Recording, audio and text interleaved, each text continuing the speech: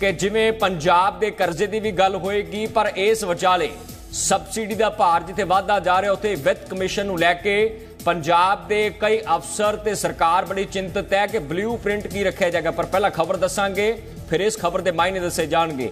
22 ਅਤੇ 23 ਜੁਲਾਈ ਨੂੰ ਪੰਜਾਬ 'ਚ ਵਿੱਤ ਕਮਿਸ਼ਨ ਆਉਣਗੇ। 16ਵੇਂ ਵਿੱਤ ਕਮਿਸ਼ਨ ਦੇ ਵੱਲੋਂ ਪੰਜਾਬ ਦੇ ਆਰਥਿਕ ਸਟਰਕਚਰ, ਆਰਥਿਕ ਢਾਂਚੇ ਤੇ ਚਰਚਾ ਕੀਤੀ ਜਾਣੀ ਹੈ। ਪੰਜਾਬ ਦੀ ਵਿੱਤੀ ਹਾਲਤ ਬੜੀ ਪਤਲੀ ਹੈ। ਆਰਥਿਕ ਮਹਾਰ ਇਸ ਚੀਜ਼ ਦਾ ਜ਼ਿਕਰ ਕਰਦੇ ਆ। ਇਸੇ ਕਰਕੇ ਅੱਜ ਮੀਟਿੰਗ ਨੂੰ ਲੈ ਕੇ ਵੀ ਵੱਡੀ ਚਰਚਾ ਪੰਜਾਬ ਸਿਵਲ ਸੈਕਟਰੀਏਟ ਦੇ ਵਿੱਚ ਬਣੀ ਰਹੀ ਕਿ ਪੰਜਾਬ ਦੇ ਮੁੱਖ ਸਕੱਤਰ ਕਿਹੜੇ-ਕਿਹੜੇ ਅਫਸਰਾਂ ਨੂੰ ਸੱਦ ਰਹੇ ਨੇ, ਕੀ ਕੁਝ ਮੀਟਿੰਗ 'ਚ ਖਾਸ ਸੀ, ਪਰ ਮੀਟਿੰਗ ਤਨ ਪੱਤਨ ਨਹੀਂ ਲੱਗ ਸਕੀ। ਹੋ ਸਕਦਾ ਹੈ ਅਗਲੇ ਕੁਝ ਘੰਟਿਆਂ 'ਚ ਜਾਂ ਅਗਲੇ ਦਿਨ ਇਹ ਮੀਟਿੰਗ ਨੂੰ ਲੈ ਕੇ ਚਰਚਾ ਬਣੀ ਰਹੇ। ਪਰ ਅਗਲੇ ਗ੍ਰਾਫਿਕ 'ਚ ਦੇਖੋ ਕਿ ਵਿੱਤ ਕਮਿਸ਼ਨ ਜੇ ਪੰਜਾਬ ਆਉਣਗੇ, ਉਹਨਾਂ ਕੋਲ ਕਿਹੜੀਆਂ ਵੱਡੀਆਂ ਪਾਵਰਾਂ ਨੇ? ਵਿੱਤ ਕਮਿਸ਼ਨ ਹੈ ਕਿ ਸੰਵਿਧਾਨ ਦੇ ਅਨੁਛੇਦ ਮੁਤਾਬਕ ਸੰਵਿਧਾਨਕ ਸੰਸਥਾ ਹੈ, ਅਨੁਛੇਦ 280 ਬਿਆਨ ਕਰਦਾ ਹੈ ਕਿ ਕੇਂਦਰ ਅਤੇ ਸੂਬਿਆਂ ਦੇ ਵਿੱਚ ਜਿਹੜੇ ਸਬੰਧ ਨੇ, ਉਹਨਾਂ ਨੂੰ ਪਰਿਭਾਸ਼ਿਤ ਕਿਵੇਂ ਕੀਤਾ ਜਾਏ? ਜੇ ਪੰਜਾਬ ਕਰਜ਼ਈ ਸਟੇਟ ਹੈ, ਤਾਂ ਕੁਝ ਕਮਿਸ਼ਨ ਜਾਂ ਪੰਜਾਬ ਵਿੱਤ ਕਮਿਸ਼ਨ ਕੁਝ ਕਰ ਸਕਦਾ ਹੈ, ਜਾਂ ਨਹੀਂ ਕੁਝ ਕਰ ਸਕਦਾ। ਵਿੱਤ ਕਮਿਸ਼ਨ ਦੇ ਚੇਅਰਪਰਸਨ ਜੇ ਪੰਜਾਬ ਆਉਣਗੇ, ਕਿਹੜਾ ਵੱਡਾ ਪਲਾਨ ਸਰਕਾਰ ਉਹਨਾਂ ਦੇ ਸਾਹਮਣੇ ਰੱਖੇਗੀ। ਇਹ ਅਸੀਂ ਕੰਮ ਦੇ ਰੂਪ ਚ ਪਰਿਭਾਸ਼ਿਤ ਕੀਤਾ ਤਾਂ ਅਗਲੇ ਗ੍ਰਾਫਿਕ ਦੱਸਾਂਗੇ ਕਿ ਵਿੱਤ ਕਮਿਸ਼ਨ ਦੇ ਚੇਅਰਪਰਸਨ ਦੀ ਜੇ ਐਂਟਰੀ ਹੁੰਦੀ ਹੈ, ਤਾਂ ਵਿੱਤ ਕਮਿਸ਼ਨ ਹੈ ਕੀ ਅਸੀਂ ਉਹ ਵੀ ਤੁਹਾਨੂੰ ਦੱਸਣ ਦੀ ਕੋਸ਼ਿਸ਼ ਕੀਤੀ ਕਿ ਸੰਵਿਧਾਨਕ ਸੰਸਥਾ ਹੈ, ਕੇਂਦਰ ਅਤੇ ਸੂਬਿਆਂ 'ਚ ਪ੍ਰਭਾਸ਼ਿਤ ਸਬੰਧ ਕੀਤੇ ਜਾਂਦੇ ਨੇ। ਤਾਂ ਇੱਕ ਵੱਡੀ ਚਰਚਾ ਪੰਜਾਬ ਦੇ ਖਜ਼ਾਨੇ ਨੂੰ ਲੈ ਕੇ ਵੀ ਹੋ ਰਹੀ ਹੈ ਕਿ ਆਖਰਕਾਰ ਪੰਜਾਬ ਦੇ ਵਿੱਚ ਜੇ ਵਿੱਤ ਕਮਿਸ਼ਨ ਆਉਂਦੇ ਨੇ ਤਾਂ ਵਿੱਤ ਕਮਿਸ਼ਨ ਦਾ ਫਰਜ਼ ਕੀ ਹੈ? ਸਭ ਤੋਂ ਪਹਿਲਾ ਸਵਾਲ, ਪਹਿਲਾ ਪੁਆਇੰਟ ਇਹੀ ਹੈ ਕਿ ਵਿੱਤ ਕਮਿਸ਼ਨ ਰਾਸ਼ਟਰਪਤੀ ਨੂੰ ਸਿਫਾਰਿਸ਼ਾਂ ਕਰ ਸਕਦੇ ਨੇ। ਕਿਸ ਤਰੀਕੇ ਦੀਆਂ ਸਿਫਾਰਿਸ਼ਾਂ ਕਰ ਸਕਦੇ ਨੇ? ਜੇ ਪੰਜਾਬ ਇੱਕ ਕਰਜ਼ਈ ਸਟੇਟ ਹੈ, ਪੰਜਾਬ ਦਾ ਕਰਜ਼ਾ ਦਿਨੋ ਦਿਨ ਵਧਦਾ ਜਾ ਰਿਹਾ ਹੈ, ਕੋਈ ਸਿਫਾਰਿਸ਼ ਤਾਂ ਨਹੀਂ ਕੀਤੀ ਜਾ ਸਕਦੀ? ਕੋਈ ਪੰਜਾਬ ਨੂੰ ਰਾਹਤ ਦੇਣ ਦੀ ਗੱਲ ਤਾਂ ਨਹੀਂ ਹੋਏਗੀ? ਦੂਜੀ ਵੱਡੀ ਚੀਜ਼ ਹੈ ਕਿ ਕੇਂਦਰ ਤੇ ਰਾਜਾਂ ਦੇ ਵਿਚਕਾਰ ਜਿਹੜਾ ਟੈਕਸ ਅਤੇ ਸ਼ੁੱਧ ਕਮਾਈ ਦੀ ਵੰਡ ਹੁੰਦੀ ਹੈ, ਉਹਨਾਂ ਦੇ ਮਸਲਿਆਂ ਤੇ ਵੀ ਚਰਚਾ ਹੋ ਸਕਦੀ ਹੈ। ਇੱਕ ਵੱਖਰੀ ਗੱਲ ਹੈ ਕਿ ਮੈਮੋਰੈਂਡਮ ਦੇ ਰੂਪ 'ਚ 2000 19 ਦਾ ਅਸੀਂ ਜ਼ਿਕਰ ਕਰਾਂਗੇ ਕਿ 19 ਚ ਜਦੋਂ ਕੈਪਟਨ ਅਮਰਿੰਦਰ ਸਿੰਘ ਦੀ ਸਰਕਾਰ ਸੀ, ਉਸ ਵੇਲੇ ਵਿੱਤ ਕਮਿਸ਼ਨ ਦੇ ਸਾਹਮਣੇ ਕਿਹੜੀਆਂ ਸਿਫਾਰਸ਼ਾਂ ਰੱਖੀਆਂ ਗਈਆਂ ਜਾਂ ਕਿਹੜੀਆਂ ਗੱਲਾਂ ਰੱਖੀਆਂ ਗਈਆਂ? ਉਹਨਾਂ ਗੱਲਾਂ ਤੇ ਸਿਫਾਰਸ਼ਾਂ ਵਿੱਤ ਕਮਿਸ਼ਨ ਨੇ ਕੀ ਕੀਤੀਆਂ ਉਹ ਵੀ ਤੁਹਾਨੂੰ ਦੱਸਾਂਗੇ। ਪਰ ਇਸ ਦੇ ਨਾਲ ਪੈਸਿਆਂ ਦੇ ਹਿੱਸਿਆਂ ਬਾਰੇ ਵੀ ਚਰਚਾ ਬਹੁਤ ਵੱਡੇ ਪੱਧਰ ਤੇ ਹੁੰਦੀ ਹੈ। ਚੌਥਾ ਜਿਹੜਾ ਜਵਾਬ ਹੈ ਕਿ ਭਾਰਤ ਦੇ ਏਕਾਕ੍ਰਿਤੀ ਫੰਡ ਦੇ ਵਿੱਚੋਂ ਸੂਬੇ ਦੇ ਮਾਲੀ ਦੀ ਗ੍ਰਾਂਟ ਨੂੰ ਨਿਯੰਤਰਣ ਕਰਨਾ ਵਿੱਤ ਕਮਿਸ਼ਨ ਦਾ ਜਿਹੜਾ ਮੁੱਖ ਅਖਤਿਆਰ ਹੁੰਦਾ ਹੈ। ਤਾਂ ਇਹਨਾਂ ਅਖਤਿਆਰਾਂ ਤੇ ਅਸੀਂ ਚਰਚਾ ਕੀਤੀ ਤਾਂ ਅੱਗੇ ਹੋਰ ਬੜੇ ਇੰਟਰਸਟਿੰਗ ਫੈਕਟ ਆਉਣਗੇ। ਤਾਂ ਜਿਹੜੇ ਚੇਅਰਪਰਸਨ ਇਸ ਕਮਿਸ਼ਨ ਦੇ ਨੇ, ਵਿੱਤ ਕਮਿਸ਼ਨ ਦੇ ਨੂੰ ਹੈ ਕੌਣ ਨੇ? ਉਹਨਾਂ ਬਾਰੇ ਅਕਸਰ ਚਰਚਾ ਕੀ ਕੁਝ ਅਰਥ ਸ਼ਾਸਤਰਾਂ ਵੱਲੋਂ ਕੀਤੀ ਜਾਂਦੀ ਹੈ ਕਿ ਆਖਰਕਾਰ ਆਰਥਿਕ ਮਹਾਰ ਕਿਵੇਂ ਉਹਨਾਂ ਨੂੰ ਮੰਨਦੇ? ਡਾਕਟਰ ਅਰਵਿੰਦ ਚੇਅਰਪਰਸਨ ਨੇ 16ਵੇਂ ਵਿੱਤ ਕਮਿਸ਼ਨ ਦੇ ਉਹਨਾਂ ਨੂੰ ਅਪਾਇੰਟ ਕੀਤਾ ਗਿਆ ਸੀ। ਮਾਰਚ 2012 ਚ ਹਾਲਾਂਕਿ ਪਦਮ ਭੂਸ਼ਣ ਪੁਰਸਕਾਰ ਦੇ ਨਾਲ ਉਹਨਾਂ ਨੂੰ ਨਵਾਜਿਆ ਗਿਆ। ਕੋਲੰਬੀਆ ਯੂਨੀਵਰਸਿਟੀ ਦੇ ਵਿੱਚ ਵੀ ਵੱਡੀ ਚਰਚਾ ਉਹਨਾਂ ਦੀ ਹੁਣ ਤੱਕ ਹੁੰਦੀ ਰਹੀ। ਪ੍ਰੋਫੈਸਰ ਅਰਥ ਸ਼ਾਸਤਰ ਦੇ ਨੇ 2015 ਅਤੇ 17 ਤੱਕ। ਕਿਸ ਤਰੀਕੇ ਦੇ ਨਾਲ ਤਕਨੀਕੀ ਆਯੋਗ, ਨੀਤੀ ਆਯੋਗ ਦੇ ਉਪ ਚੇਅਰਪਰਸਨ ਵੀ ਮਿਸਟਰ ਅਰਵਿੰਦ ਤੈਨਾਤ ਰਹੇ ਤਾਂ ਨਾਲ ਹੀ ਖਾਸੀਅਤ ਕੀ ਹੈ ਇਹਨਾਂ ਦੀ? ਮੁਫਤ ਸਹੂਲਤਾਂ ਇਹਨਾਂ ਨੂੰ ਚੰਗੀਆਂ ਨਹੀਂ ਲੱਗਦੀਆਂ। ਵਿੱਤ ਕਮਿਸ਼ਨ ਦੇ ਚੇਅਰਪਰਸਨ ਦੀ ਇਹ ਖਾਸੀਅਤ ਹੈ ਕਿ ਮੁਫਤ ਸਹੂਲਤਾਂ ਇਹਨਾਂ ਨੂੰ ਚੰਗੀਆਂ ਨਹੀਂ ਲੱਗਦੀਆਂ। ਜੇ ਮੁਫਤ ਸਹੂਲਤਾਂ ਚੰਗੀਆਂ ਨਹੀਂ ਲੱਗਦੀਆਂ, ਤਾਂ ਹੁਣ ਦੇਖੋ ਅਗਲੇ ਗ੍ਰਾਫਿਕ 'ਚ ਕਿ ਪੰਜਾਬ 'ਚ ਕਿਹੜੀਆਂ ਮੁਫਤ ਸਹੂਲਤਾਂ ਸਰਕਾਰ ਦੇ ਵੱਲੋਂ ਦਿੱਤੀਆਂ ਜਾ ਰਹੀਆਂ ਨੇ।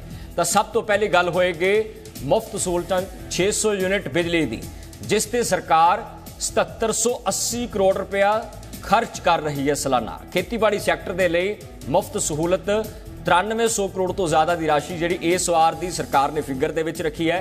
ਸਮਾਜਿਕ ਸੁਰੱਖਿਆ ਪੈਨਸ਼ਨ, ਇਹ ਉਹ ਸਕੀਮਾਂ ਨੇ ਜਿਨ੍ਹਾਂ ਦੇ ਮਸਲੇ ਤੇ ਸਰਕਾਰ 4800 ਕਰੋੜ ਰੱਖ ਰਹੀ ਹੈ ਤੇ ਨਾਲ ਹੀ ਔਰਤਾਂ ਦੇ ਲਈ ਜਿਹੜੇ ਬਸ ਸਫਰ ਮੁਫਤ ਔਰਤਾਂ ਪੰਜਾਬ ਦੀਆਂ ਕਰਦੀਆਂ ਨੇ, ਵੀ ਮੁਫਤ ਸਹੂਲਤਾਂ ਦੇ ਵਿੱਚ ਹੈ। ਇਸ ਦੇ ਲਈ 450 ਕਰੋੜ ਰੁਪਏ ਦੀ ਰਾਸ਼ੀ ਪੰਜਾਬ ਦੀ ਸਰਕਾਰ ਰੱਖ ਰਹੀ ਹੈ।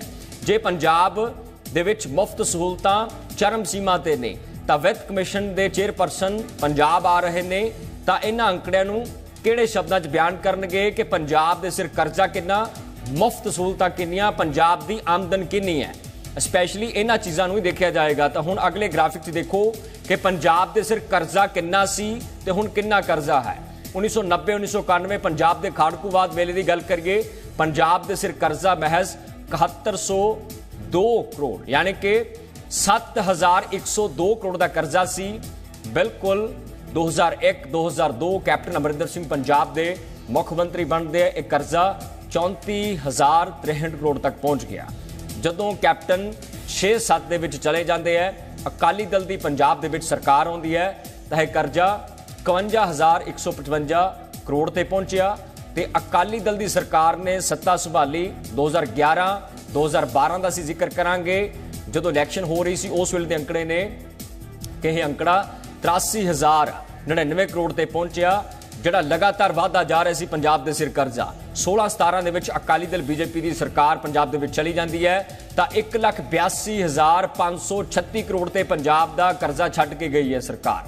ਜਦੋਂ ਕੈਪਟਨ ਅਮਰਿੰਦਰ ਸਿੰਘ 17 ਚ ਪੰਜਾਬ ਦੇ ਮੁੱਖ ਮੰਤਰੀ ਬਣੇ 22 ਤੱਕ ਦੀ ਟਰਮ ਤੱਕ ਪੰਜਾਬ ਦੇ ਵਜ਼ੀਰੇ ਆਲਾ ਕੈਪਟਨ ਅਮਰਿੰਦਰ ਰਹਿੰਦੇ ਹੈ, ਤਾਂ ਉਸ ਵੇਲੇ 182000 ਤੋਂ ਜ਼ਿਆਦਾ ਕਰਜ਼ਾ ਸੀ। 21 22 ਦੇ ਵਿੱਚ ਇਹ ਕਰਜ਼ਾ ਪਹੁੰਚ ਕੇ 281773 ਕਰੋੜ ਤੇ ਹੋ ਗਿਆ, ਯਾਨੀ ਕਿ 281773 ਕਰੋੜ ਤੇ ਪਹੁੰਚਿਆ, ਤਾਂ ਹੁਣ ਤੁਸੀਂ ਹੈਰਾਨੀਜਨਕ ਅੰਕੜੇ ਦੇਖੋ ਕਿ 2022 ਚ ਨਵੀਂ ਆਮ ਆਦਮੀ ਪਾਰਟੀ ਦੀ ਸਰਕਾਰ ਬਣੀ ਹੈ। 2022 2023 ਦੀ ਟਰਮ ਦੇ ਵਿੱਚ ਇਹ ਕਰਜ਼ਾ 281773 ਤੋਂ ਲੈ ਕੇ 314220 ਤੇ ਪਹੁੰਚ ਚੁੱਕਿਆ ਹੈ। 23 24 ਦੇ ਅੰਕੜੇ ਹੋਰ ਹੈਰਾਨ ਕਰਦੇ ਆ। ਹੈਰਾਨ ਕਿਸ ਤਰੀਕੇ ਨਾਲ ਕਰਦੇ ਆ ਕਿ ਕਰਜ਼ੇ ਨੇ ਇਸ ਤਰੀਕੇ ਦੇ ਨਾਲ ਉਛਾਲ ਮਾਰਿਆ ਕਿ ਕਰਜ਼ਾ 343636 ਕਰੋੜ ਹੈ, ਯਾਨੀ ਕਿ 343636 26 ਕਰੋੜ ਦਾ ਜਿਹੜਾ ਕਰਜ਼ਾ, ਉਹ ਫਿਲਹਾਲ ਕਾਊਂਟ ਕੀਤਾ ਗਿਆ, ਜਦ ਕਿ ਸੰਭਾਵਨਾ ਕਿੰਨੀ ਹੈ? ਪੰਜਾਬ ਸਰਕਾਰ ਦੇ ਆਰਥਿਕ ਤੇ ਪੰਜਾਬ ਦੇ ਖਜ਼ਾਨਾ ਮੰਤਰੀ ਨੂੰ ਇਹ ਸੰਭਾਵਨਾ ਲੱਗਦੀ ਹੈ, ਉਹਨਾਂ ਦੇ ਅਫਸਰਾਂ ਨੂੰ ਸੰਭਾਵਨਾ ਲੱਗਦੀ ਹੈ ਕਿ 2024 ਅਤੇ 25 ਦੇ ਮਾਰਚ ਤੱਕ ਇਹ ਕਰਜ਼ਾ 374000 ਕਰੋੜ ਤੋਂ ਪਾਰ ਕਰ ਜਾਏਗਾ। ਪਾਰ ਕਰਨ ਦੇ ਭਾਵ ਕੀ ਨੇ? ਕਿ 374000 ਕਰੋੜ ਤੋਂ ਇਹ ਕਰਜ਼ਾ ਪਾਰ ਕਰ ਗਿਆ, ਸੰਭਾਵਨਾ ਪੰਜਾਬ ਸਰਕਾਰ ਨੂੰ ਹੈ। ਦਿਨੋ ਦਿਨ ਕਰਜ਼ਾ ਸੀ ਤੁਹਾਨੂੰ ਦਿਖਾਇਆ ਕਿ ਕਿਵੇਂ 1990 1991 ਤੋਂ ਲੈ ਕੇ 2024-25 ਤੱਕ ਦੇ ਉਹ ਅੰਕੜੇ ਨੇ, ਜਿਹੜੇ ਆਪਣੇ ਆਪ ਦੇ ਵਿੱਚ ਵੱਡੀ ਪੰਜਾਬ ਨੂੰ ਚਿੰਤਾਜਨਕ ਘੜੀ ਦੇ ਵਿੱਚੋਂ ਲੰਘਾਉਣ ਲਈ ਮਜਬੂਰ ਕਰ ਰਹੇ ਨੇ। ਤਾਂ ਇੱਥੇ ਹੁਣ ਵਿੱਤ ਕਮਿਸ਼ਨ ਕੀ ਕਰ ਸਕਦਾ ਤਾਂ ਅਗਲੇ ਗ੍ਰਾਫਿਕ 'ਚ ਹੋਰ ਵੀ ਇੰਟਰਸਟਿੰਗ ਚੀਜ਼ਾਂ ਦੱਸਾਂਗੇ ਕਿ ਕੀ ਕੁਝ ਖਾਸ ਪੰਜਾਬ ਦੇ ਵਿੱਚ ਰਹਿਣ ਵਾਲਾ ਹੈ। ਕਿਉਂਕਿ ਰੈਵਨਿਊ ਡੈਫਿਸਿਟ ਗ੍ਰਾਂਟ ਕੀ ਹੁੰਦੀ ਹੈ? ਦੇਖੋ, ਜੇ ਪੰਜਾਬ ਦੇ ਵਿੱਚ 16ਵੇਂ ਵਿੱਤ ਕਮਿਸ਼ਨ ਆਉਣਗੇ, ਤਾਂ ਸਰਕਾਰ ਮੰਗ ਕੀ ਕਰ ਸਕਦੀ ਹੈ? ਕਾਨੂੰਨਨ ਤੌਰ ਤੇ ਰੈਵਨਿਊ ਡੈਫੀਸਿਟ ਗ੍ਰਾਂਟ ਦੀ ਮੰਗ ਕੀਤੀ ਜਾ ਸਕਦੀ ਹੈ। ਹੁੰਦਾ ਕੀ ਹੈ? ਜਿਵੇਂ ਪੰਜਾਬ ਦੇ ਸਿਰ ਕਰਜ਼ਾ ਚੱਲ ਰਿਹਾ ਹੈ, ਸੰਵਿਧਾਨ ਦੇ ਆਰਟੀਕਲ 275 ਦੇ ਮੁਤਾਬਕ ਸੂਬਿਆਂ ਨੂੰ ਮਾਲੀਆ ਪ੍ਰਦਾਨ ਕੀਤਾ ਜਾ ਸਕਦਾ ਹੈ, ਜਿਹੜੇ ਸੂਬੇ ਬੜੇ ਘਾਟੇ ਚੱਲ ਰਹੇ ਹੋਣ। ਘਾਟਾ ਸਬਸਿਡੀ ਪ੍ਰਦਾਨ ਵਿੱਤ ਕਮਿਸ਼ਨ ਦੀਆਂ ਸਿਫਾਰਸ਼ਾਂ ਤੇ ਹੋ ਸਕਦਾ ਹੈ। ਕਮਿਸ਼ਨ ਪ੍ਰੈਜ਼ੀਡੈਂਟ ਸਾਹਿਬ ਨੂੰ ਸਿਫਾਰਸ਼ਾਂ ਕਰ ਸਕਦੇ ਹੈ ਕੇਂਦਰ ਦੀਆਂ ਸਬਸਿਡੀਆਂ ਕਿਉਂ ਨਹੀਂ ਮਿਲਦੀਆਂ? ਇਸ ਤਰੀਕੇ ਦੀ ਵੀ ਚਰਚਾ ਪੰਜਾਬ ਦੀ ਸਰਕਾਰ ਸ਼ੰਕੇ ਜ਼ਾਹਰ ਕਰ ਸਕਦੀ ਹੈ।